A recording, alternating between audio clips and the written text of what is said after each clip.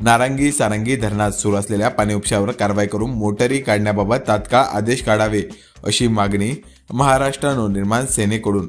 तहसीलदार वैजापूर व उपविभागीय अधिकारी यांना निवेदनाद्वारे करण्यात आले आहे. नारंगी सारंगी धरणातून मोठ्या प्रमाणात पाणी उपसा सुरू असून त्यामुळे धरणातील पाण्याची पातळी खालवली असून तेथील पाण्याचा साठा कमी झाला आहे. परिणामी येणाऱ्या काळात वैजापूर शहरातील नागरिकांच्या पिण्याच्या पाण्याचा गंभीर प्रश्न उपस्थित होऊ शकतो. म्हणूनच संबंधित ठिकाणी सुरू असलेला पाणी उपसा तात्काळ बंद करून मोटारी बंद करण्याचे आदेश काढण्यात यावे अशी मागणी महाराष्ट्र नवनिर्माण सेनेकडून निवेदनाद्वारे करण्यात आली आहे. यावेळी मनसे शहराध्यक्ष सोपान पाटील जाधव सचिन मुळे गणेश मापारी दत्तात्रय आवटे अमोल जाधव गणेश शिंदे यांच्यासह मनसे पदाधिकारी मोठ्या संख्येने उपस्थित होते.